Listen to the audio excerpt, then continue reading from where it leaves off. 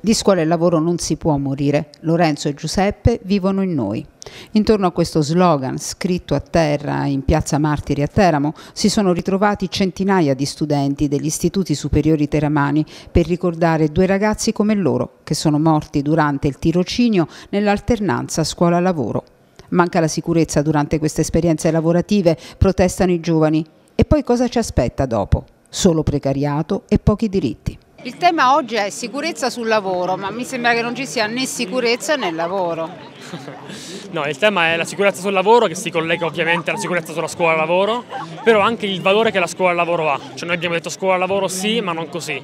La scuola lavoro dovrebbe e potrebbe essere un'occasione per gli studenti e le studentesse di conoscere e scoprire il mondo e i luoghi del lavoro.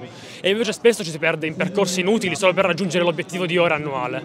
Quindi noi chiediamo una scuola lavoro che insegni veramente qualcosa, che insegni a lavorare e che dia, dia occasione agli studenti.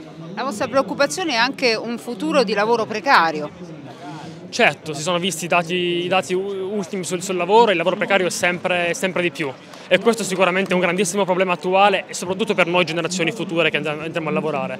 Come abbiamo detto prima, chi non ha certezze è debole, quindi il lavoro, il lavoro stabile è fondamentale. Con la precarietà c'è sempre il ricatto di non essere confermati e quindi anche quando magari si avanzano i diritti le si avanza con timidezza, con riserva, perché se c'è un contratto a termine o c'è comunque un'altra forma di precarietà e adesso ce le risparmiamo perché ne sono veramente troppe, significa che quel contratto in pratica sarà confermato solo se c'è in pratica la condivisione che è interessante per il datore di lavoro e basta i diritti vanno da un'altra parte. Il mondo del lavoro si è indebolito nella capacità di rivendicare i propri diritti. C'è bisogno di una nuova alleanza tra mondo del lavoro e mondo della formazione, perché il mondo della formazione, dove loro oggi sono immersi, e da lì loro usciranno e troveranno questa precarietà.